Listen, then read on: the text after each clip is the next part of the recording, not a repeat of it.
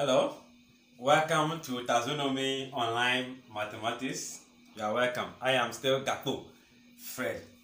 Now we are moving on the second episode of trigonometry. Now, the first video we talk about the concept of trig. Now we're going to take some questions and start solving. There's a question in here whereby we are asked to find the, the side mark y in the diagrams. Alright, before we start with this, let's talk about the special angles. The special angles we have in trigonometry.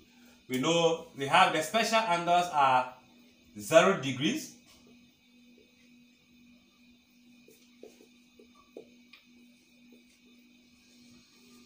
and 90 degrees. We want to find these special angles with respect to the ratios, that is sine, cos, and tan.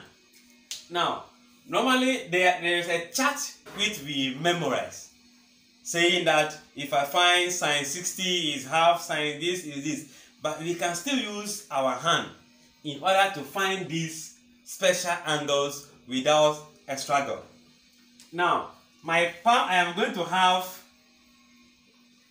the palm is having an imaginary square root, empty square root. So this is an empty square root over 2. Simply put, I can say x and the x will stand in for the counting of my fingers. So if I count one finger, it means the x become what? 1. Alright. Then if we take this, starting from here, I think if I say this, this is my little finger, that is a 0. 0, 30, 45, 60, then the thumb is what? 90 degrees. Under sine, if I take 0, which means this is the angle 0, sine 0, I'll be counting the fingers below the, the index finger, this middle uh, small finger, the fingers below. And you can see there is no other finger here, which means in this space is going to be 0. The square root of 0 is 0. 0 over 2 is what? 0. So sine 0 is 0. Then sine 30, meaning this is 30. How many fingers are below 30? 1. So square root of 1 is 1. 1 over 2. So half is sine 30. Then 45. How many fingers below? 2 fingers. So in this place will be 2. So root 2 over 2. 60 out here. So taking 60, how many fingers below? 3. So in our, we have root 3 over 2. Let's move to 90. This will be 90. How many fingers below? We have 4 fingers. So I'll be putting 4 here. Don't forget the square root of 4 is 2. 2 over 2, 1. So sine 90 is 1. Alright. Then let's move to cos.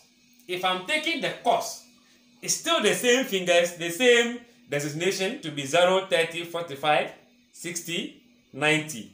But this time, if I stand on the angle, I'll be counting the fingers above. So standing on 0, I'll be counting the fingers above. And I think I can get 4 fingers. So in this place, 4 which is 2 over 2. 1. Cos 0, 1. 30 above, how many? 3.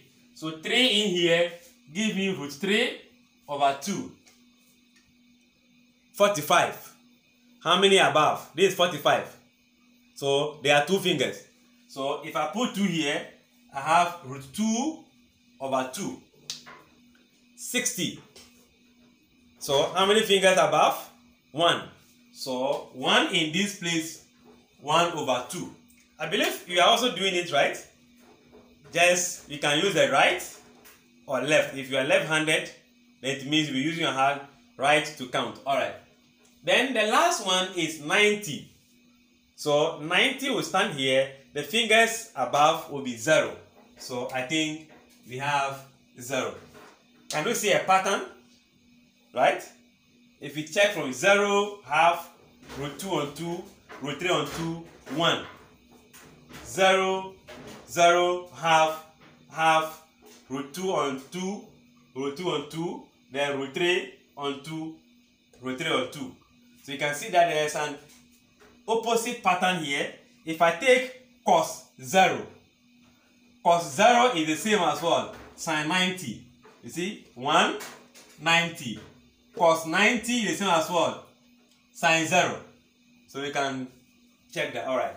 Now if we take tan, tan have an expression of sine over cos. Sine over cos is tan.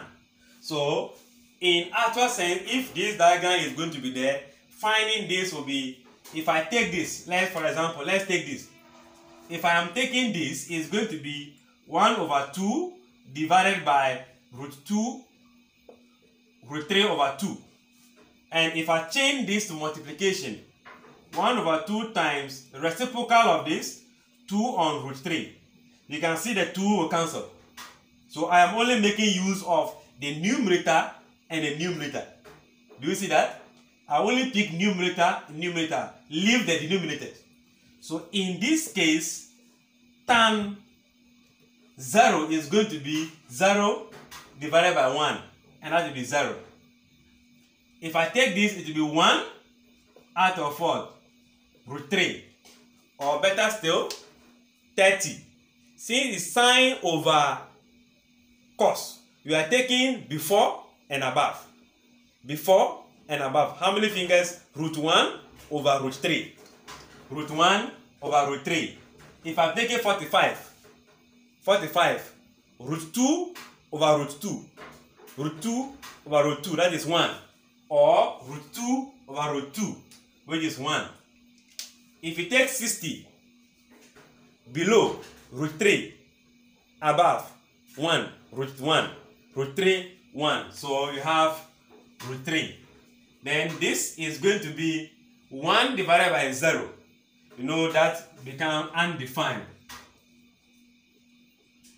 So we don't have uh, tan 90 that will give you undefined. So these are some of the uh, special angles and triangles. So we can use the fingers or our palm to generate the answers to that. Let's come to our substantial question. The angle is 30. It's opposite to this place. We have the hypotenuse. So in my mind, I'll be singing this song. So ka tua.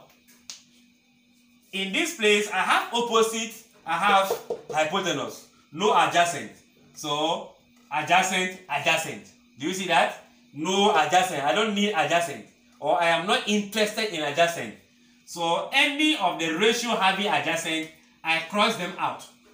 This is the only ratio I need, which stands for sine of the angle, which is 30, is equals to the opposite, which is y over hypotenuse, which is what? 5. Do you see that? Very simple. Look at the side involved in the question. Look through your SOHCAHTOA. Cross out the ones that are not needed. Then take the one that is needed. So from here, we can see that we can cross multiply. So we can have y multiplying 1 equals to 5 sine 30. Somebody here will say, why wouldn't it be sine 30 times 5? Ah, it is this we are multiplying. Since we say multiplication is what? Commutative. I can do that. But if you multiply it that way, you are going to increase the angle from 30 to uh, 150. 30 to 150, you have increased the angle. So we use the any number we are using to multiply sine, cos, tan goes behind. Yeah, You are still not convinced, right? Let's check. Now we know that sine 30 is 1 over 2. 1 over 2. So I can, instead of crossing multiply, I can say this to be 1 over 2 equals to 1 over what? y over 5. Are you clear that one? So if I cross multiply, it will be 2y equals to 5. Are you seeing that? Now we can divide this. y equals to 5 on 2. So that is the actual way it's supposed to go. So if I increase this with 150, then my story is different. But here I can still say that 5 times, what is the value of sine 30? This is 30, so 1 over 2.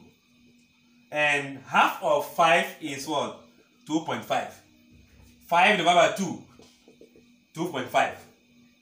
Do you that? I'm sure you are clear with that. Good. So always use any number or a factor, whether a variable, to multiply before the angle of sine or cos or tan. Alright. We are not having any dimension, so if it to be meter, then you have gotten 2.5 watt meter. Alright, let's take the second one. If you look at this carefully, 52 degrees is opposite or facing the 16.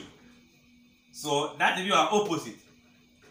We don't have the side facing the right angle box is empty. We don't need it. But we have the adjacent, the line perpendicular to the opposite. So in this, if I have my SOHCAHTOA in my mind, I'm going to cross out anything that have hypotenuse. I don't need anything for hypotenuse. So hypotenuse, I take it away. Hypotenuse, I take it away. I am left with what? Tua, which means tan theta, which is 52 degrees, is equals to the ratio opposite side 16 over adjacent side y. Clear with that? We are having adjacent, opposite. So it is two that can work. Opposite, adjacent. Opposite hypotenuse. I don't have it. Adjacent hypotenuse. I don't have it. So I cross them out. So I'm left with this. So you can see cross multiplication can happen here. 16 will multiply this. Y will multiply this. And I'll still divide by this. So y is just going to be 16 over tan 52 degrees. Then 16, you find time 52, let do the calculator. So if you punch tan 52, just press the tan on the calculator, then press 52. That will give you 1.280. 1.2997. So if you approximate 1.280. Now 16 divided by this will also give us 12.5. So if we were to have a dimension to be meter, this could have been meter. So you can see how easy it is to solve questions on trigonometry. This is just a direct aspect of trig. Let's take a question into a step further. We will see that in the next episode. Thank you for watching. Share Tazonomy Online Mathematics on YouTube, then Setazo on TikTok. Facebook, Tazonomy Online Mathematics. Let's share so that I can have the numbers so that I can do videos with longer length. So far, YouTube does not allow me to send videos of 15 minutes. So I need your numbers so that I can do a longer videos. Thank you very much for watching.